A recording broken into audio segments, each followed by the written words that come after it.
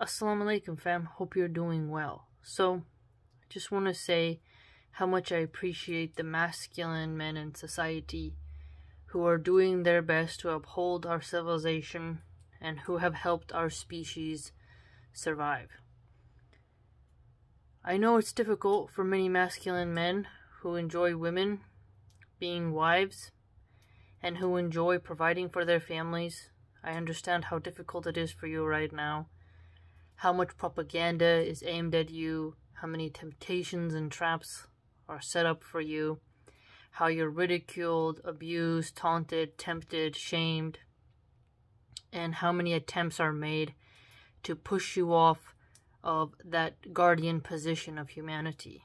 But I want you to know that I appreciate you and that many other women appreciate you as well, and that I won't stop fighting for you and for your recognition. And I really hope that in your soul you know that you're valued, even if the media, the marketing, the leftists, and others try to degrade you, corrupt you, shame you, and degrade your soul, and to pull you into hellfire with them. I just want you to know that you are a special generation that has existed on this earth because you are really up against the wall. You're facing the digital temptations. You're facing organized efforts, both spiritual and political, ideological and economic. And I want you to know that your suffering will help you to earn paradise, inshallah. And to keep going, don't lose hope, and don't become too cynical and don't think that you're not noticed. It's up to you to help us. It's up to you to help us women to be safe.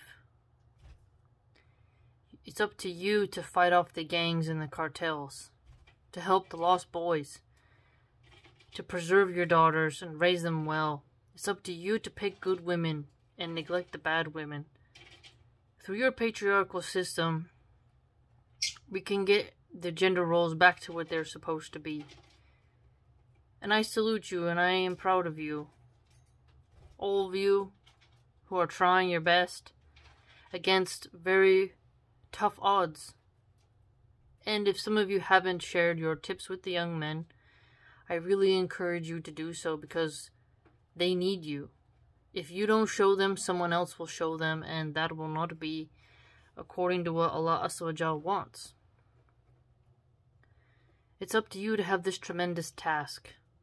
This tremendous task of guarding women, protecting young men, helping people to be married. If you're a good brother, have a second, third, fourth wife. To produce children. To work hard and when you're at work, resist kafir women who would seek to destroy you, tempt you, bring you down in the terms of how Allah would be pleased with you. You have immense pressure on you, and it's really sad that there are other Muslim women who desire to take the side of the seculars and the liberals against you.